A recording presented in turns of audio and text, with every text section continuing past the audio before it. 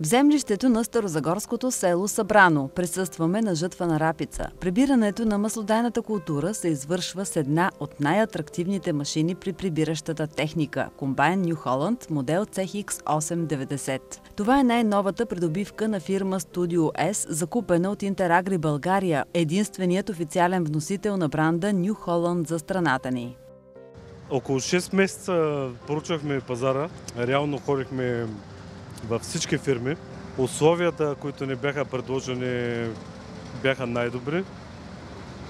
При сходен клас машини и сходни екстри на самата машина. Просто получихме най-добрите условия и може да се каже, че най-леко минаха преговорите ни с Интерагри. Стопанството обработва 10 000 декара в землището на село Събрано. Отглежда пшеница, чемик, рапица, слънчоглед и грах, а повече от 5 години и биолимец. Развитието на фирмата наложило инвестиране в нова, по-производителна техника.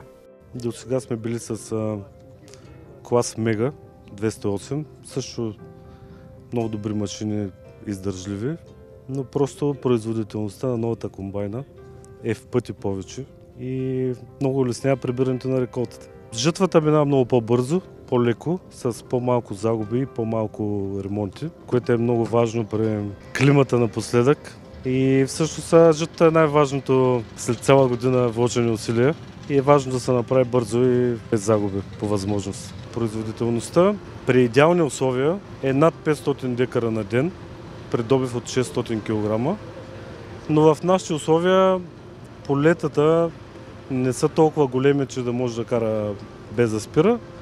И за момента на ден сме стигали до 450 декара, като се има предвид, че сме в това число влиза и че сменено полетата няколко пъти.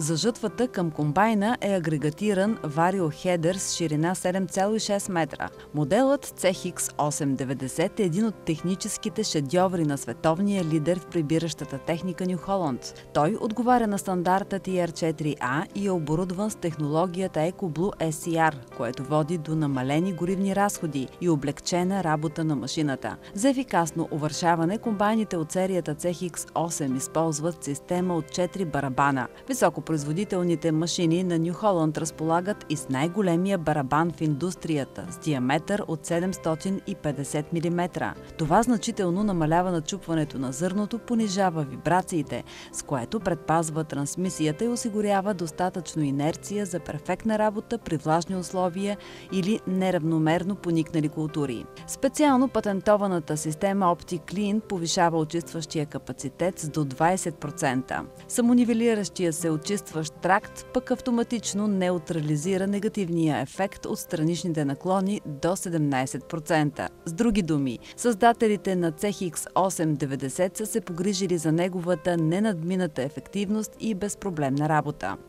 Знаеш какви са думите. Карай, но фаля старо.